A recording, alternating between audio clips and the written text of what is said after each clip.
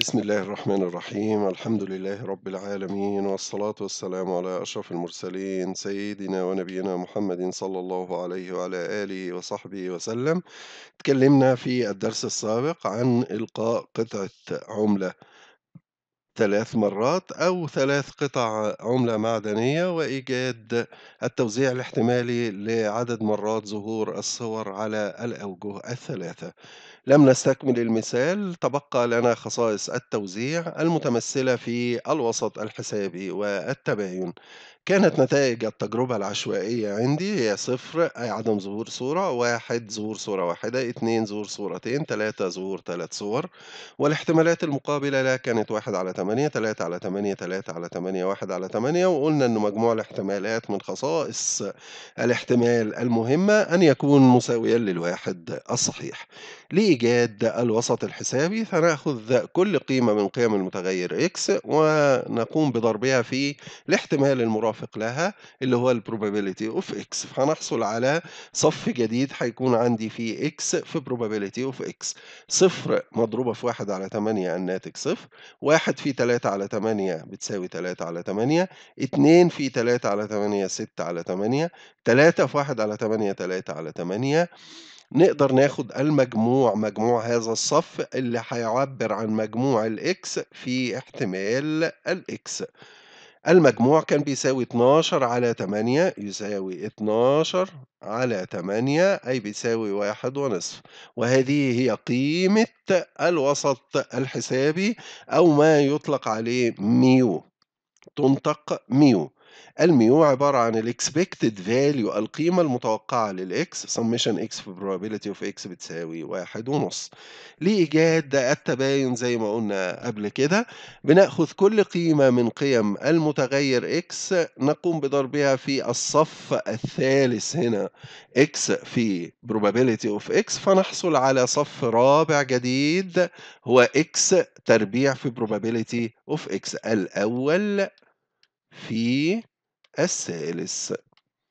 أول قيمة عندي من قيم المتغير الأول هي صفر في صفر. الناتج سيكون صفر.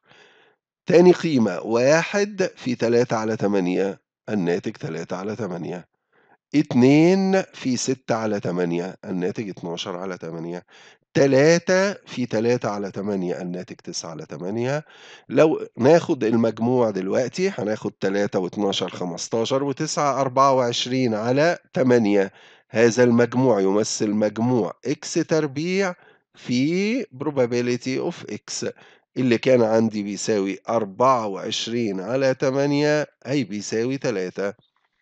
ما ننساش إن التباين عشان نوجده لابد وأن نأخذ مجموع الإكس تربيع بإكس اللي إحنا جبناه من شوية تلاتة بس أنقص منه مربع المتوسط أو ال mu تربيع.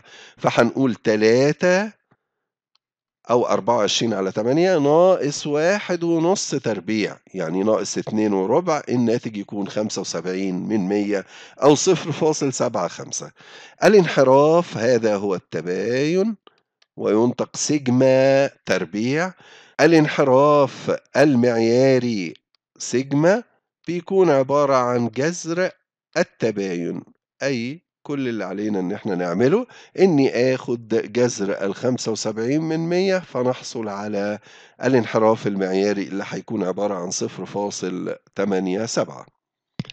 مثال إذا كان التوزيع الاحتمالي المنفصل لمتغير x هو كالتالي. المتغير x يأخذ القيم واحد اتنين تلاتة أربعة.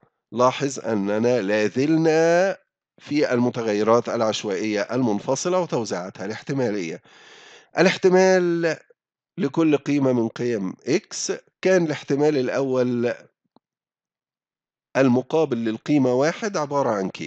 الاحتمال الثاني المقابل للقيمة 2 عبارة عن 0.2 احتمال ظهور التلاتة هيساوي 0.6 احتمال ظهور الأربعة يساوي 0.1 لو نلاحظ مع بعض أن هناك قيمة مجهولة هي الK نشوف هو طالب مني إيه. بيقول لي أوجد القيمة المفقودة في جدول التوزيع الاحتمالي. طبعا كل أولادنا وأحبابنا اللي جالسين يستمعوا للدرس دلوقتي هيقولوا لي ما هو مجموع احتمالات ال x أو مجموع ال p x لازم يكون بيساوي الواحد. إذا أقدر أجمع القيم الموجودة وأجيب منها المجهول. واحد من عشرة وستة من عشرة سبعة من عشرة واتنين من عشرة المجموع يكون تسعة من عشرة. إذا المتبقي على الواحد هو قيمة ال k اللي هتكون واحد من عشرة. المطلوب الثاني عبارة عن حساب متوسط وتباين التوزيع وده اللي بنوضحه من خلال الشريحة التالية. بيقول لي في ألف حيث أن مجموع الاحتمالات لابد أن يساوي الواحد. لذا مجموع الاحتمالات يساوي الواحد. جمعنا الاحتمالات طلعت بتسعة من عشرة. زائد الكي تساوي الواحد. نقلنا التسعة من عشرة من ناحية اليسار إلى اليمين فعكسنا الإشارة أو غيرنا الإشارة أصبحت سالبة. واحد ناقص تسعة من عشرة يساوي واحد من عشرة وهذه هي القيمة المجهولة. نضع القيمة المجهولة مكان ال k اللي هي واحد من عشرة لإيجاد المتوسط والتباين. كل ولادي عارفين إني هاخد الصف الأول x أضربه في ال probability of x فأحصل على ال x في ال probability of x القيمة الأولى واحد في واحد من عشرة بواحد من عشرة اتنين في اتنين من عشرة تساوي أربعة تلاتة في ستة بتساوي واحد وتمانية. أربعة في واحد تساوي أربعة من عشرة. ثم أنظر إلى المجموع في النهاية أجده اتنين وسبعة من عشرة. هذا مجموع السمشن أو المجموع ال x في ال probability of x إذا المتوسط أو ال mu يساوي اتنين وسبعة من عشرة. لإيجاد التباين قلنا بنأخذ كل قيمة في الصف الأول نضربها في القيمة المقابلة لها في الصف الثالث لإيجاد x تربيع في probability of x.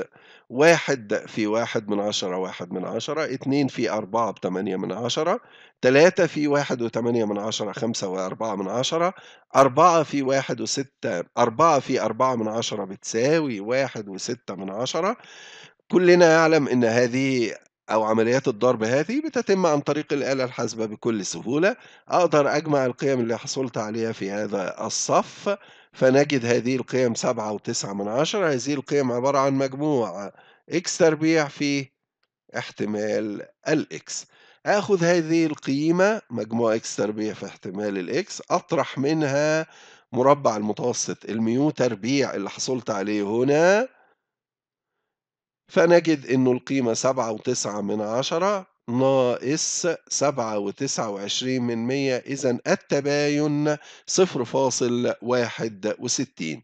إذا أردنا الحصول على الانحراف المعياري ما علي إلا, إلا إني أضع الصفر واحد وستين هذه تحت الجذر فأحصل على الانحراف المعياري. اختار الإجابة الصحيحة. تمرين على أولادي أنهم يحلوه بنفس الطريقة اللي حلينا بيها التمرين السابق. أوجد القيمة المفقودة في جدول التوزيع الاحتمالي الكي هنا. طبعا كل اللي هنعمله إن إحنا هنجمع القيم الموجودة ونطرحها من الواحد لإيجاد الكي الوسط الحسابي للتوزيع السابق. هكون صف جديد زي ما اتعودنا x في probability of x.